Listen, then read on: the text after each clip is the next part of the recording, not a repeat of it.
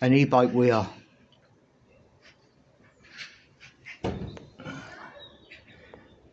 Bridge rectifier.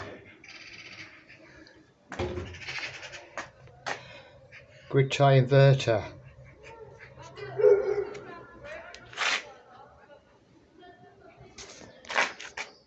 Can anyone guess what's coming next?